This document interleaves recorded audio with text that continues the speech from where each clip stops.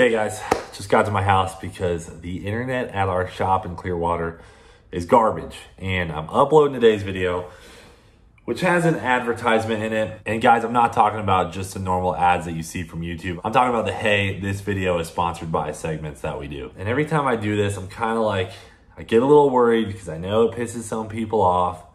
But I wanted to come to YouTube on the second channel today and talk to you guys, see what works best for everybody. So first off, the reason we do these ads is because these companies reach out with their products and say, hey, for a 60 second integration, we will pay you this amount. And I used to not do these, but I recently got in touch with a guy, uh, Matt from Demolition Ranch, who got me in touch with a guy who sets up YouTubers with advertisers. And uh, that's why we've kind of been doing them more lately.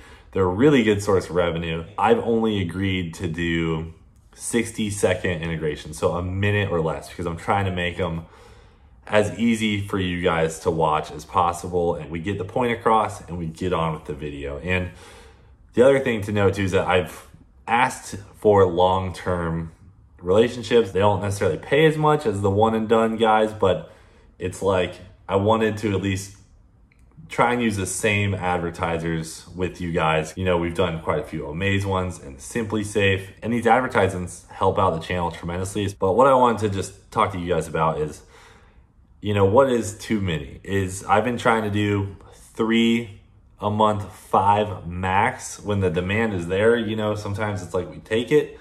You know, we post every other day at the very least. So I figured three to five a month is pretty good trying to stick to that. If you guys think that's too many, tell me in the comments below. If you think we can do more, I don't know if there's the demand for that. So, so I think at most we could do maybe four or five a month if we really tried. But go ahead and drop a comment below. Let me know what you think. But I wanted to get on here and explain myself. You know, a lot of people are saying, oh, we're being greedy for doing it. But for the 60 seconds it takes on the video, I feel like it would be stupid to not do them. You know, the money from these ads goes to the YouTube channel to build the cars and helps fund everything we do with pushing our track and pushing our events, especially with our recent investments in the hovercraft industry. All things along those lines. And I just want to get a quick video out to get your guys' opinion on the subject. Drop some comments below. I'll see you later.